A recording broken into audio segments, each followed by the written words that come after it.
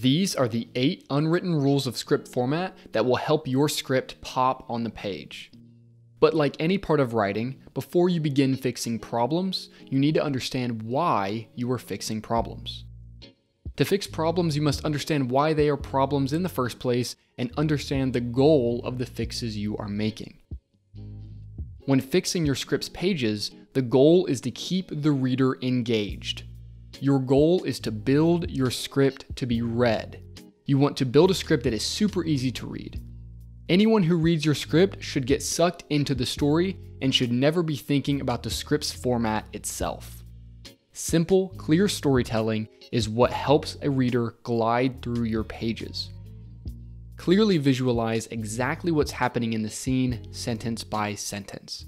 Quick shout out to Scriptfella, who is a master at script readability and fixing your action and dialogue on a molecular level.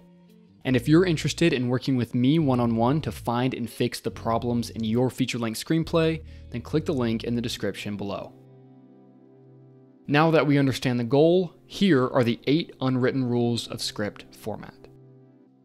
Number one, keep your action lines to four lines max. When a reader opens up your script, one thing they want to see is white space.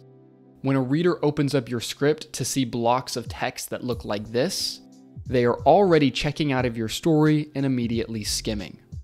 Now, this example is from Wes Anderson's Moonrise Kingdom, and you might be saying, well, Wes Anderson does it. Yes, and that is because he is known and already a valuable writer. An amateur writer with no previous work is not a value, and if you do what the pros do, no one will ever want to read your work. Instead, be extremely intentional with your scene descriptions. If you have a section that's six or seven lines long, find out where the fluff is in your sentences and reduce them down. Make it simple and clear. What are the most important scene elements you need to tell the reader? Don't add anything that isn't important to their understanding of where they are and what's happening on the page. Number two, Remove or rework any action lines with two plus character names. Here's an example Kyle hands Richard his rifle. He tosses Mark over his shoulders and races towards Nate. The mind can only visualize so many characters at a time. It's hard for a reader to visualize multiple characters doing multiple different things within one sentence. Split up your sentences based upon the character and the verb that is specifically happening in that sentence. For example, Kyle hands off his rifle. He tosses his brother's limp body over his shoulders. Dodging bullets, he sprints across the street towards Nate. This will make it easier for your reader to fully focus on the story rather than deciphering what you were trying to say on the page. Number three, reduce instances of double or triple prepositions. For example, the car sits in front of a bar in a busy town. There's way too much going on for the reader to visualize. You could fix it by saying, the car idles outside a busy bar. This is similar to having too many character names in one sentence. When you have too many prepositional phrases, the reader has to think harder about what they are actually seeing, and this takes them out of the story. Number four, remove or rework any clerical or instruction manual writing. For example, Eric walks into the room with his brother and sits down at the table. This is not cinematic. It's a boring sentence for a boring shot. The reader doesn't see a moment of drama in their head, they see characters going through the motions. Instead, you could write it like this Eric storms into the kitchen, brother smoking at the table. Get away from basic blueprint style writing. This is your time to shine. The more you get away from writing like an instruction manual, the more your voice comes out. You don't build your writing voice by being overly indulgent and adding all of these extra words and flares to highlight how interesting you are. The goal is to use words that carefully describe the drama that will invest the reader in the story. Choose your verbs carefully. Which leads me into number five use a thesaurus to replace crutch words. Your script is likely full of basic verbs moves, sits, stands, looks, sees, watches, walks, steps, takes, scoffs. Most first drafts will have many instances of these weak verbs. This is your opportunity to enliven the drama on the page with verbs that describe more specifically and dramatically what is happening in the scene.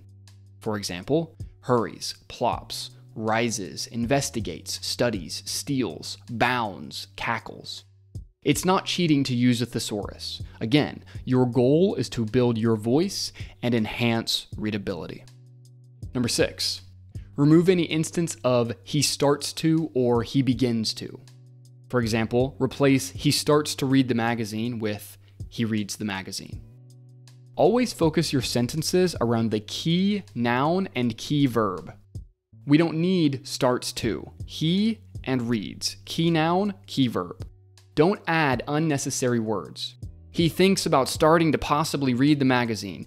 You can add these fake verbs all day long. Write clean sentences. Get to the point. Your reader wants to know what is happening, so tell them the drama clearly. Number seven, remove fluff from the start of any dialogue. You know, well, like, um, I mean, sorta. These words are weak. They make your dialogue sound weak on the page. Now, what if you have a character that specifically talks this way? Sure, that's possible, but it shouldn't be every character in the script, which is likely how it is now. Remove these words and watch your dialogue immediately feel cleaner.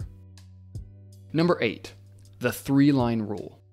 Now, I did a full video on this linked below, and this is a dialogue problem that I see again and again where a character is saying the same thing multiple times. For example, a character might say, Kevin, I didn't know you were coming. When did you get here? Does Martha know you're here? When you see this in your script, cut the two lines that you don't need and keep the one you do. This is one of the easiest fixes you can make, and you will find that it lets your scenes move much faster without this extra unneeded weight of useless dialogue. Let's review the eight unwritten rules of script format. Number one, keep your action lines to four lines max. Two, remove or rework any action lines with two plus character names. Three, reduce instances of double or triple prepositions. Four, remove or rework any clerical or instruction manual writing. Five, use a thesaurus to replace crutch words. Six, Remove any instance of he starts to or he begins to. 7. Remove fluff from the start of any dialogue. And number 8. Use the three line rule to fix the dialogue in your script. And if you are interested in working with me one on one to fix the problems in your screenplay, then click the link in the description below. Thanks for watching.